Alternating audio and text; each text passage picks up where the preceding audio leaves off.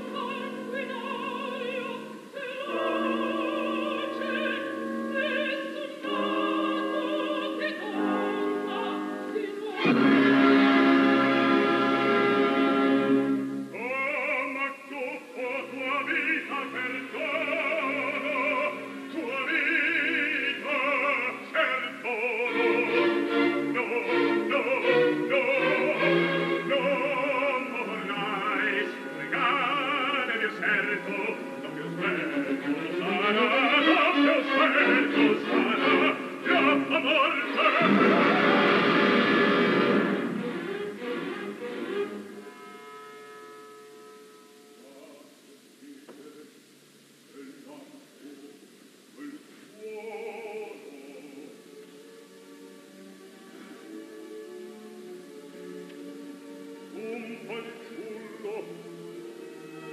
fanciullo